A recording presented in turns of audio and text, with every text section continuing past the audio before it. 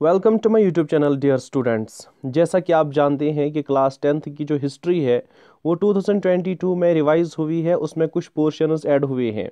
हर किसी चैप्टर में कुछ कंटेंट ऐड हुआ है और कंटेंट के साथ साथ टेक्सचुअल क्वेश्चंस भी ऐड हुए हैं।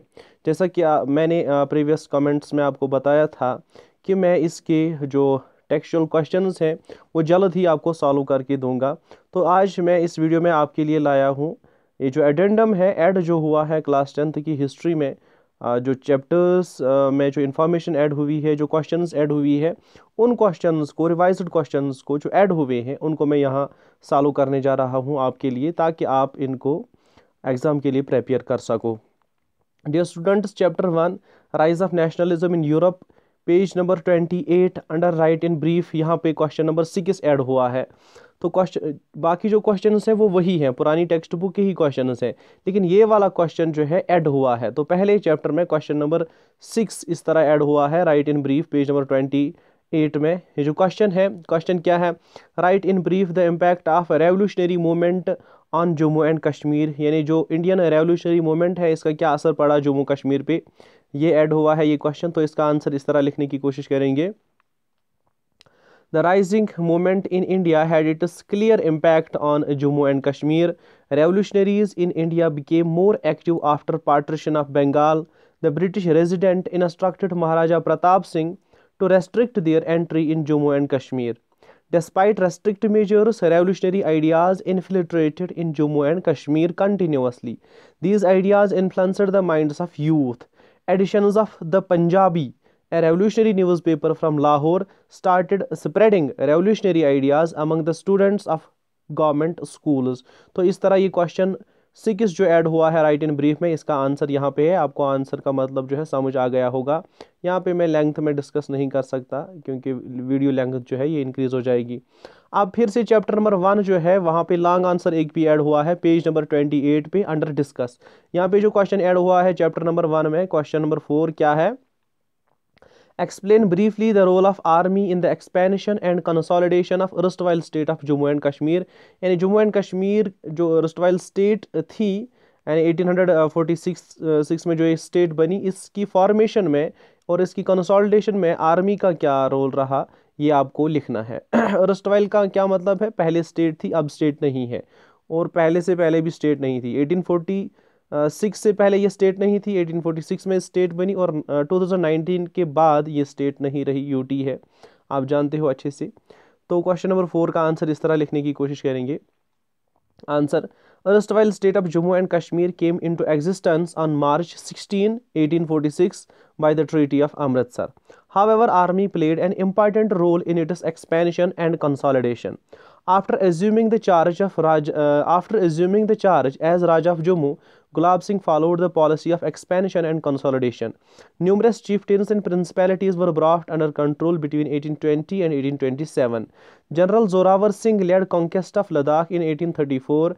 Then he annexed Baltistan and Tibet in 1841. Maharaja Rambir Singh annexed Gilgit, Yasin, Ponial, Hunza, Nagar and Chitral. For this, he organized a series of military campaigns for which every Dogra family contributed a soldier in 1860s.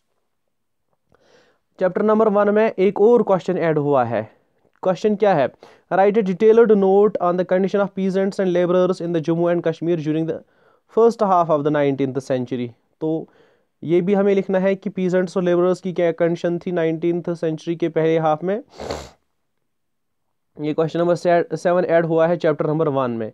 तो इसका answer इस तरह लिखने की कोशिश करते हैं।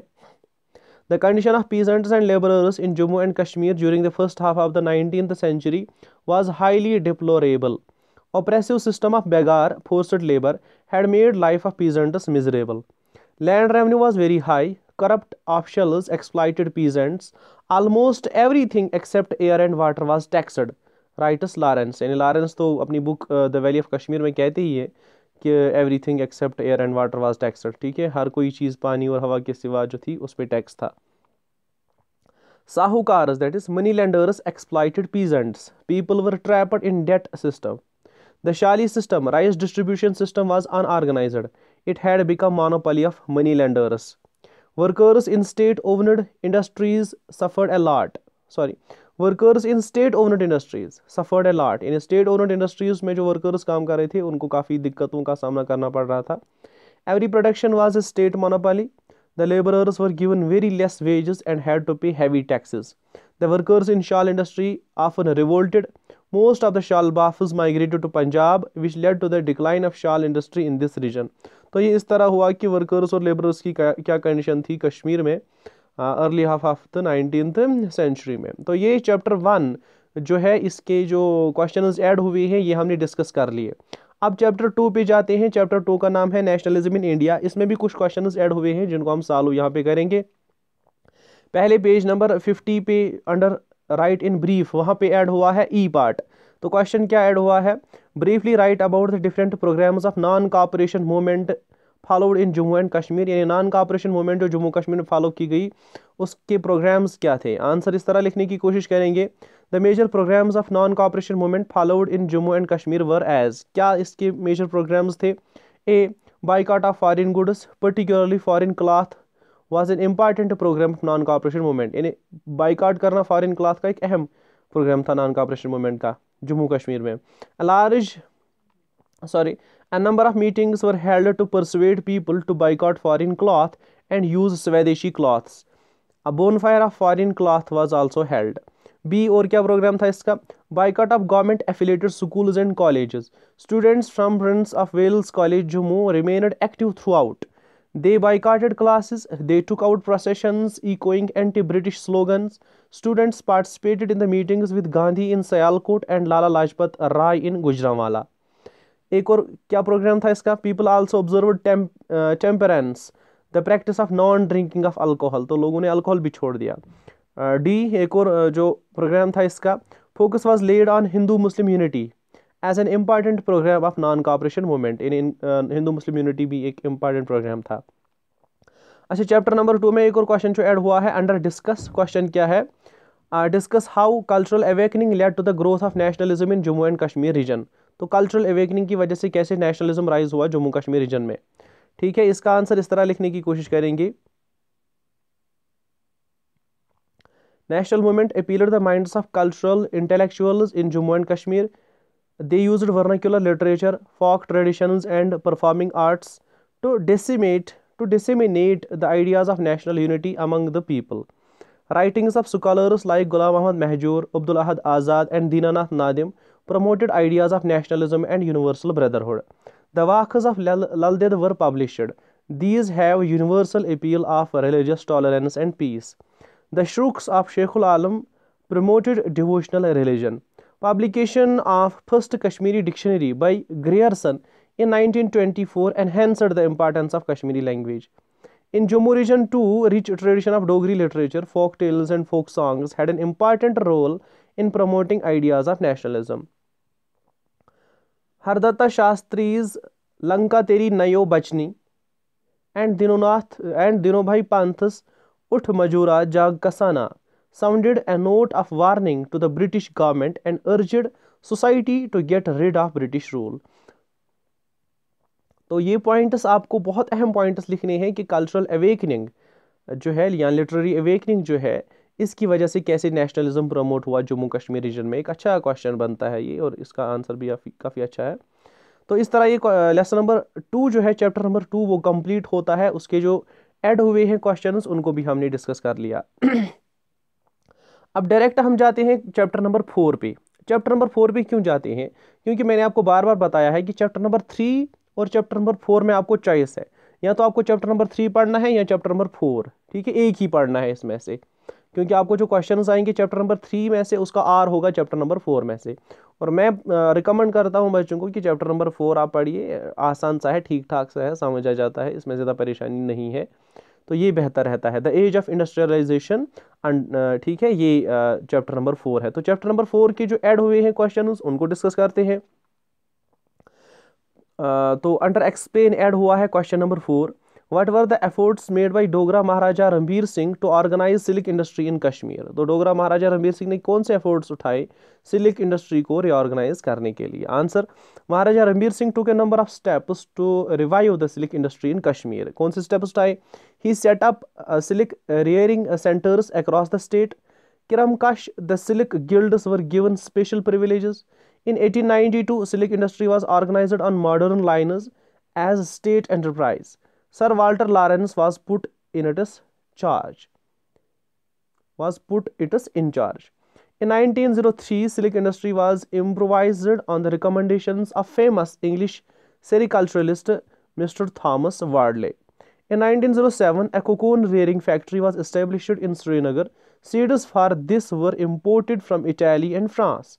These uh, were distributed among peasants for the purpose of rearing ठीक है, यहाँ पे आप ऐड हुआ है पीजेंट्स ऑफ़ कश्मीर लिख सकते हो peasants of Kashmir for the purpose of rearing तो under discuss chapter number four में अंडर डिस्कस में भी एक क्वेश्चन ऐड हुआ है। क्वेश्चन क्या है? Discuss the development of shawl and carpet weaving industry in Kashmir तो shawl and carpet weaving industry की डेवलपमेंट कैसे हुई कश्मीर में ये आपको लिखना है। Answer shawl industry from seventeen to the mid nineteen century Kashmiri shawl dominated the world of textiles in the entire world its trade brought huge profits this industry gave employment to large number of people according to Moorcraft shawl industry uh, was the center of economy in kashmir Wool for the shawls were imported uh, was imported from Lhasa, Tibet, Ladakh and Yarkhan. Sometimes its export touched rupees 35 lakhs a year. Its spinning engaged over 1 lakh women. तो ये था शाल industry के बारे में, अब carpet weaving industry के बारे में देखते हैं। Carpet weaving industry, carpet weaving industry was a well known industry of Kashmir it is said that Zainul Abidin introduced this craft in Kashmir he invited craftsman from Persia and Samarkand after his death this industry suffered a setback in the seventeen century Akhun Mulla और Mulla Akhun Shah Mulla Akhun Shah revived this industry Uh, the carpet industry, industry was adversely affected by the Great Depression of 80, uh, 1929. To 1929 में Great Depression आया उससे ये industry जो है greatly adversely effect हुई further growth of machine made carpets and cheaper carpets from Mirzapur and Amritsar provided a stiff competition to the Kashmiri carpets तो ये question इस तरह हो गया यानी कश्मीरी शाल और विविंग इंडस्ट्री के कारपेट विविंग इंडस्ट्री पे आपको नोट लिखना था, इनको डिस्कस करना था। ये चैप्टर नंबर फोर में ये क्वेश्चन ऐड हुए हैं। अब यहाँ पे चलते हैं चैप्टर नंबर फाइव में। चैप्टर नंबर फाइव का नाम है print culture and the modern world इसके बारे में भी आपको पता है कि इस चैप्टर में से पैसेज आएगी और पैसेज आपको सॉल्व करनी है, उसमें पैसेज के बाद आपको क्वेश्चन होंगे। लेकिन फिर भी क्वेश्चन जो ऐड हुए हैं, आपको क्वेश्चन याद करने की ज़रूरत नहीं है इस चैप्टर में से। क्वेश्चन जो ऐड हुए हैं, फिर भी मैं उनका आंसर उनका सोल्यूशन आपको दे देता हूँ।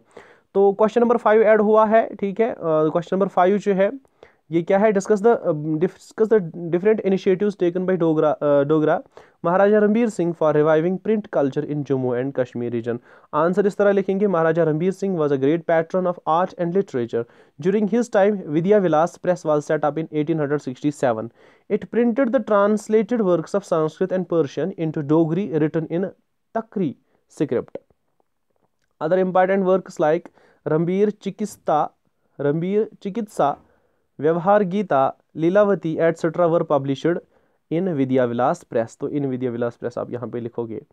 Ranbir press was also establish in eighteen hundred eighty two it start publishing Jammu and Kashmir gazette books on different subjects like mathematics physics chemistry and zoology were publish for free distribution in government school पाठशालाज and मदरसाज तो ये महाराजा रणबीर सिंह ने steps उठाए किसके लिए? Print culture को promote करने के लिए। क्वेश्चन नंबर सिक्स क्या ऐड हुआ है? चैप्टर नंबर फाइव में how did liberal policies of Maharaja Hari Singh led to the development of press in Jammu and Kashmir answer इस तरह लिखने की कोशिश की है। Maharaja Hari Singh never developed any rigid approach towards the liberty of press although he was bound by the treaty commitments with British regarding the censorship of press he always try to allow freedom of expression on April nineteen thirty two Hari Singh introduced the Press and Publications Act. After this act, many newspapers from Jammu and Kashmir uh, were started.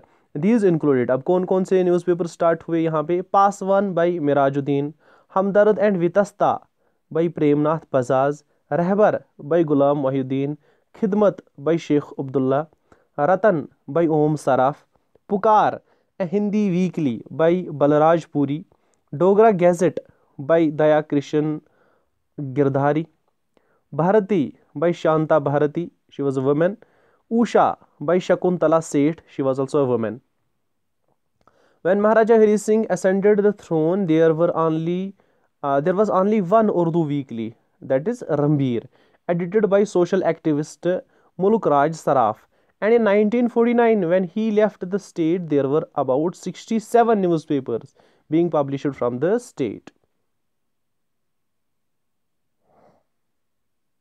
Dear इस तरह हमारे जो addendum है वो complete uh, हुआ। लेकिन अब रहता है chapter number last post independence era Jammu and Kashmir on the path of modernisation dear students ये चैप्टर जो है ये कम्प्लीटली रिवाइज हुआ है ठीक है? इसके सारे क्वेश्चन चेंज हुए हैं। और वो सारे क्वेश्चन मैंने एक अलग से वीडियो में डिस्कस किए हैं जो मैं पहले ही अपलोड कर चुका हूँ।